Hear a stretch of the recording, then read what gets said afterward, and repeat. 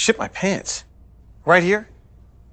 Ship my pants? You're kidding. You can ship your pants right here. You hear that? I can ship my pants for free. Wow, I just may ship my pants. Yeah, ship your pants. Billy, you can ship your pants too. I can't wait to ship my pants, Dad. I just shipped my pants, and it's very convenient. Very convenient. I just shipped my drawers. I just shipped my nightie. I just shipped my bed. If you can't find what you're looking for in store, we'll find it at Kmart.com right now and ship it to you for free.